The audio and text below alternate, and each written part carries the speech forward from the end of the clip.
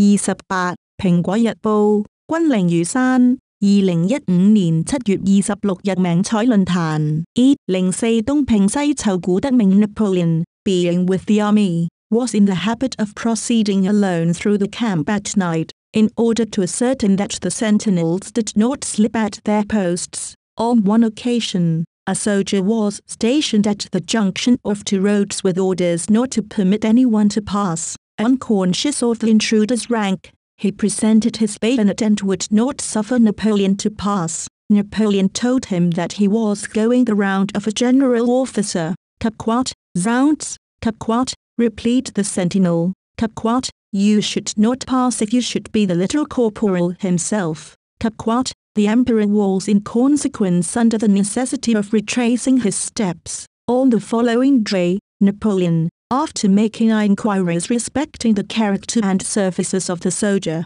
which proved advantageous, summoned him to his presence. After extolling him as a rigid disciplinarian, he immediately raised him to the rank of an officer. 拿破仑在军中，经常独自夜巡军营，看看有没有哨兵站岗时睡觉。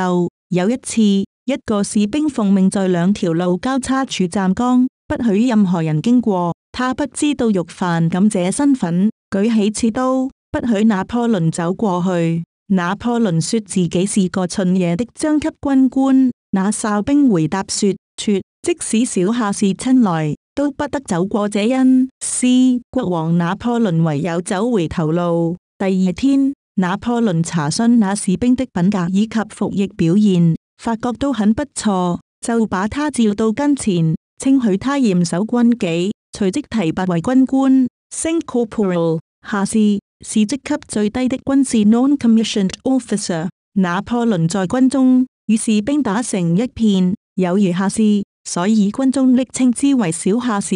Zounds 是古英語的感嘆詞，表示驚訝、憤怒等情緒。